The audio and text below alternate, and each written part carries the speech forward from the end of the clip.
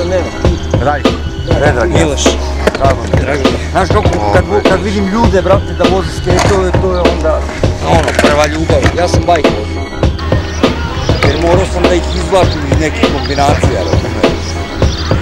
Hey, I got a dime back here. Word up. Yeah, yeah, yeah, that's what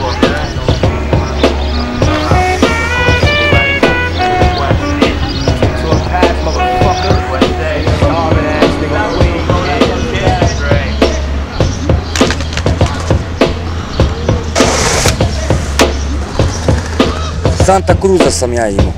Sam Wolfa, sam isto. On je imao.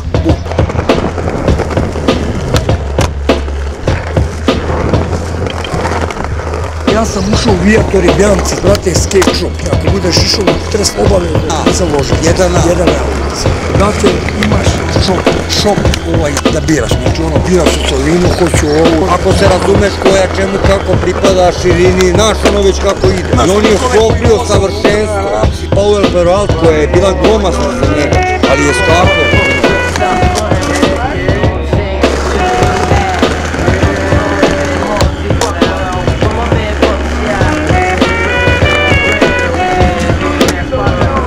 Ja sam bio klinac sada, ja sam vozio skate u, znači, pre osnovne škole, ne u osnovne škole, već vrhunski vozač, sa osam godina skak, mislim, brate, reći ćeš mi koje mi priča priča. Zaletim se na malim pločicama, točak, brate, non stop kači, to je bilo kod škole, brate, viš kakav je točak, Voliš se točak. zaletim se, brate, skočim ulije, razumeš, i okretim se i vratim se nazad. I nastavim dalje. Bio sam do 15 godine, tu sam stao,